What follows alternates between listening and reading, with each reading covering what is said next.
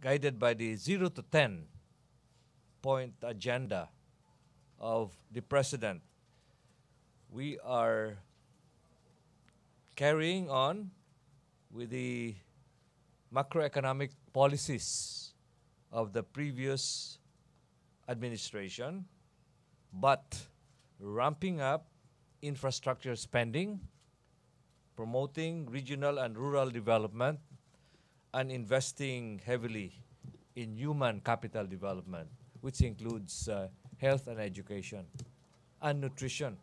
In the first 50 days of this administration, I can say that we are on the right track and, uh, uh, and at a faster pace to make sure that we achieve our goals.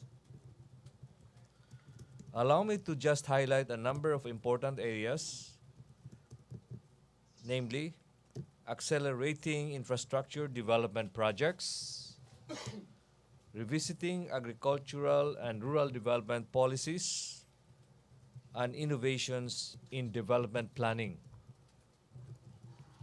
First, we have moved quickly to implement reforms to accelerate infrastructure development, which has been rather slow in the previous administration.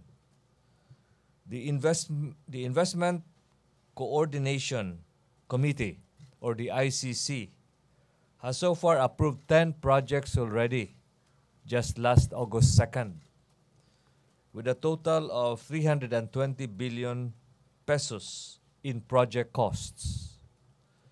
The NEDA board, chaired by the President, will take up these projects for approval in September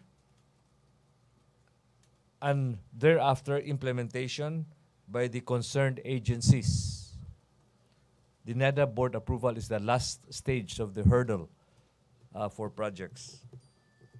The list the, this list includes, among others, projects in rural development, including irrigation, farm irrigation, farm to market roads, even school buildings in uh, depressed areas, regional hospitals, airport modernization, flood management, the North-South Railway South Line project, and the Metro Manila Rapid Transit, bu Bus Rapid Transit project on EDSA, among others. Likewise, NEDA, through the Infrastructure Committee, or Infracom, has directed prioritizing the completion of the Mindanao Railway project's initial phase.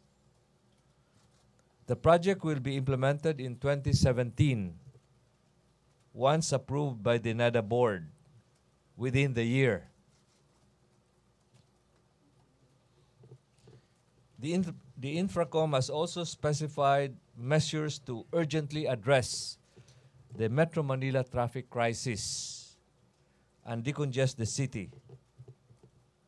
One such measure is the immediate implementation of the Bonifacio Global City Ortigas Link Bridge which is expected to divert 25% of the EDSA traffic.